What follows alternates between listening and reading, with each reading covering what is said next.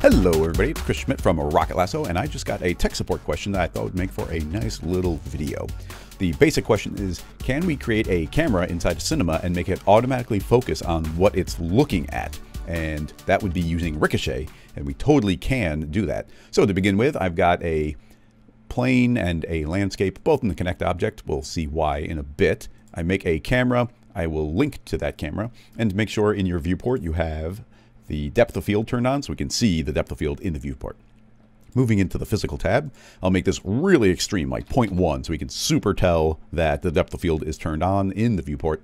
Now, what do we want to focus on? Well, I can click on like what does it want to focus on? And we can click a particular point here and I can click one time to focus on that. But if we want that to constantly update depending on what we're looking at, let's um, actually before we go too far, it might be nice to, I'm going to go to my asset browser and I've installed the Happy Toolbox collection. So I'll just grab a nice low poly tree.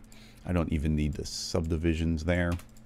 Throw that into a cloner, clone that onto an object. I'll put that onto the connect object so it will clone onto both surfaces. Don't align the clone. Let's crank up the count, make a whole bunch of these, and I'll make them multi-instance so it runs really quick. I will do no more than that, just gives us a slightly better look there.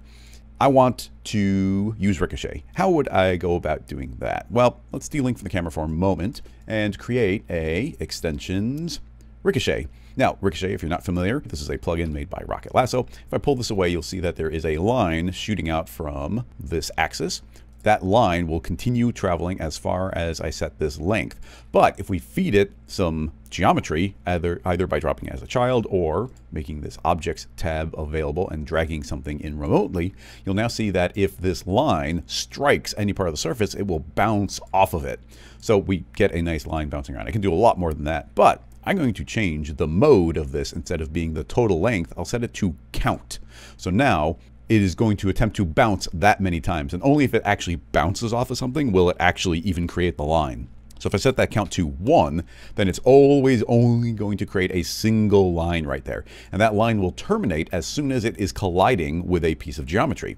So having done that, I can make that a child of the camera, zero out its position. So turn on your coordinates here, click Reset Transform. You'll see that there's now a line traveling from our camera and stopping exactly on this mountain.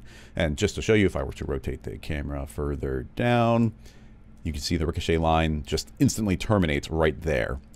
So we now have a line that is giving us an exact position at the endpoint. We need to be able to focus on that endpoint. The easiest way to do that would be make a null and let's just call this um, geo Right clicking on that, I will add a rigging tag and a constraint tag. Actually, not constraint. Let's add a, even easier, I can add a animation align to spline tag. The spline will be the ricochet and the null will suddenly jump to the camera. If we shift the position to 100%, this null is always going to be on the end of the ricochet line. Moving back inside of our camera, let's go to its POV you'll see that we are not focused properly on what we're looking at because we need to move into the camera and drag into the focus object this geo null. Dragging that in, instantly you can see our focus has shifted to where I'm looking. But there's a problem. If I were to start moving my camera around, you'll see that the focus didn't update properly. Now, if I actually click on the null, you'll suddenly see it does update. The reason that's happening is most tags have a setting, if you go to the basic tab, and right now it's set up as just an icon and it's this little camera. What that means is it will update if you physically move your camera in the viewport. So essentially when something's dependent on the camera, you should turn this setting on right there. Now that I've turned that on, I can just start moving around the scene. And let's go up to this mountaintop. You'll see that that's perfectly in focus. And as soon as I move off the mountaintop, the focus is going to shift over to that ground plane instantly jumping over to it. So, you know, that's the basic version of this rig working very, very well. If we wanted to, we could add additional geometry. That's why I made this connect object. I could make a copy of that landscape, move this to some other location, maybe change the seed on that one to be a little bit different.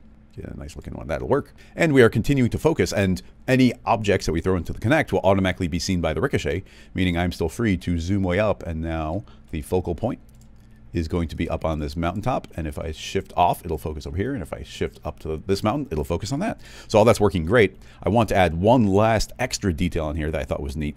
If we duplicate well, what do I want to do? It's instantly shifting our focus from this mountain over to the ground. But you could make that be a more dynamic process by let me rotate to a nice angle so you can very clearly see it. Also, this when you move your camera, I'm holding down Alt as I click my middle mouse button. You'll get this nice little arrow in the center, and that's the dead center point on your screen, so you always know exactly what we're going to be focusing on. So, having done that, I don't want that to instantly shift from the front to the back. I want there to be a transition period. We can do that by making another null. I'll just duplicate this one, rename it to chase. And what do I want that to do? Well, I'll add a rigging constraint tag, and I want it to be a spring type. So I'll turn that on. Moving into the spring tab, I want it to be chasing what? Well, I want to chase this geometry null. That's always going to be perfectly where the target is.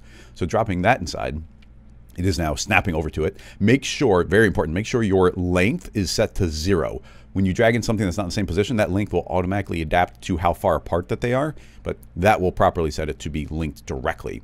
This is going to be constantly updating this null to, let me even see if I can show you here. If I delink from the camera, if I select this geometry null, I'll temporarily delete that tag. If I move this geometry null around, we've got this other null that's going to be trying to chase it around. Let me make it very visual. I'll change this to be a circle and make it way bigger. So you see I've got that little circle right there. So if I grab this null and start moving it, you see that other one is chasing us around, but it's not perfectly there. If I move really slowly, it's going to catch up. You'll even see that it will overshoot where I drag sometimes. So it's a spring tag. I will now update, or undo rather, a bunch of times. And now I brought back our align to spline tag. Clicking on our spring tag, a couple settings we can change. If we add some drag in there, now it is not going to be springing back and forth. It drains the energy out. And if we set the stiffness to different settings, we'll get a different look. Moving back into our camera, let's make sure that the camera is looking not at this geo null, but this chase null. And I think, oh, before I forget, I almost did, on the spring null, also go to your basic tab and make sure that this is camera dependent. That means it will calculate if the camera moves or rotates. Having done that, all I have to do is start moving my camera around. And now when my focus shifts, you see that there's a transition between the two. It's not instant anymore. Moving back into the spring tag, let's make this really extreme. I'll drop this down to one, well, let's do 2%.